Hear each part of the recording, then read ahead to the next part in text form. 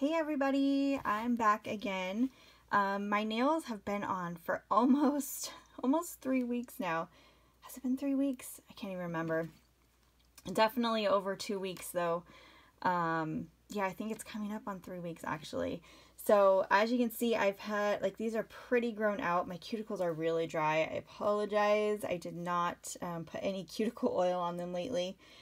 But you can see, so I do have acrylics on and you can see how much they've grown out. Um, it has been th about three weeks since I got the acrylics put on, just over three weeks, I think. Um, and this is the first, I normally don't keep my nail polish on this long. You can see like it's Color Street. It's, uh, I mean, it stays really well for how long this has been on. But you can see all the wear um, from my typing and from washing dishes and just life in general. So this is going to be a video about how I remove the nail polish from my acrylic nails because somebody asked me. Um, so I'm just going to show you how I do it. Um, a lot of people will tell you not to use any kind of nail polish remover. It's better to use um, one of those, what are they called? Um, like a one of those drills that just kind of gets it off like at the at the salon. I don't own one of those, so I have to use nail polish remover. Um, sometimes I do use the 100%, but um, it's better on your nails, it's better on your acrylics if you don't um, use the 100% acetone nail polish remover. So what I have here is just these little pads. They're kind of rough um, I get I found them on Amazon. This is the brand, just in case you wanted to know. Um, kind of just rough little squares. So I'm just gonna get that wet. Oh, I probably need two of them. That's really wet. And I just start working on my nail. Now I don't have um, I don't have plastic tips on my acrylics. The It's just my regular nail underneath.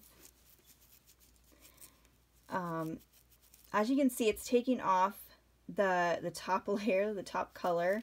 All that red is coming off. And then there's a bunch of glitter underneath. Glitter, oh my goodness, it is so hard to remove glitter, you guys. This is why I use the 100% acetone remover because it's better on glitter. But you also risk um, causing your acrylic to lift from your nail bed. We don't want that. Do not want that. As you can see, it does take a really long time to get all this glitter off. You're gonna, it's gonna take some elbow grease. It's gonna take a bit of work. Um, but the thing is, you don't want to soak you don't want to soak your nails in nail polish remover if you have acrylics on. If you don't have acrylics, it, you're perfectly fine to get those little clips that clip on and, you know, soak a cotton ball and uh, soak them before you attempt to take it off. But with acrylics, we don't have that luxury. So it's a bit of work. I'm just wiping from the cuticle up to the tip and just wiping it off and I might need to get another one. You might find that it's going to be a little bit gummy and a little sticky feeling. Um, just keep working at it and keep using the remover to get it off. It does eventually come off and it will look the way it did before you put it on. See, look, I'm getting, it's getting better. You just have to keep working at it. This is also why I love Color Street because it does last so long and it doesn't look too bad for being three weeks of nail polish. Um, so you don't have to do this, you know, all the time. You can go two weeks as long as the tips, the ends don't bother you. Okay, I think that's pretty good There's some hair or fuzz. All right, there you go. You can see some of the fuzz, but I got most of it off. I do need to work on the edges a little bit, but um, it's smooth. It just, it has that, um, that shiny clear gel on top. I think she actually put a, a really light pink color on top of my acrylics this time. So it's not totally clear.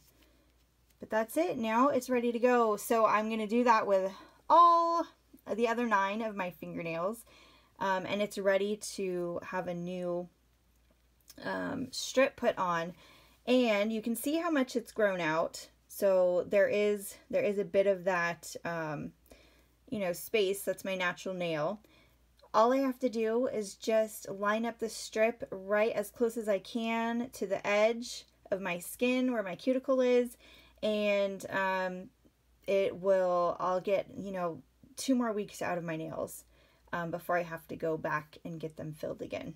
So hopefully this video helped you. Um, but yeah, it's pretty easy. You just have to take a little bit of time, but it does come off and it's not sticky or anything and it's, they're fine.